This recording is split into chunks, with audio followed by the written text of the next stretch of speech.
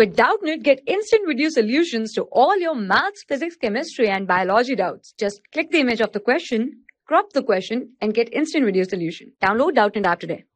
Hello everyone. A ray of light is incident normally on one of the face of a prism of apex angle 30 degree and refractive index of the prism is root 2. The angle of deviation of the ray in degree you have to find out. So let us draw a prism first. Here it is said that the angle of the prism, this angle is 30 degree. And it is also said that the ray incident normally on this face.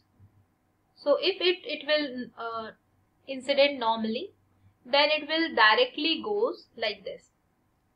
So here the refraction will not take place. It will directly goes like this. And this angle here is 90 50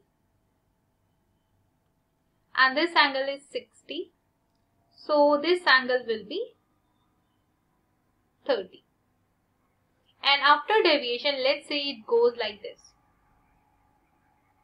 Right? It will goes like this. And if I draw a line continuing with it so we know that this this angle here is R and this angle is 30 right if you see this angle is 30 then this angle will also be 30 and we want the angle of deviation that will be r minus 30 degree. Right so let's calculate the r. To calculate the r we'll use the snell's law. So i will write from the snell's law.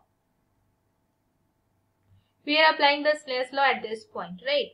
So i will write here this uh, one mu of this is root 2 right?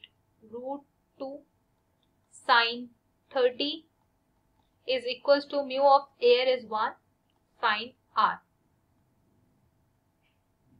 So I will write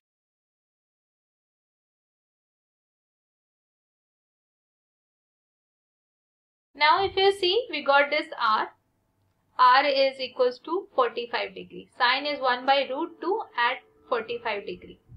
Now we can just put the value of r here you can see very clearly if you see this angle is uh, 45 and the angle it, it is 30 so this much is the angle through which it is deviated. That is 45 minus 30 that is 15 degree. And now you can check for the option here. C is the correct one. Thank you. For class 6 to 12 IIT JEE and NEET level Trusted by more than 5 crore students. Download Doubtnut App today.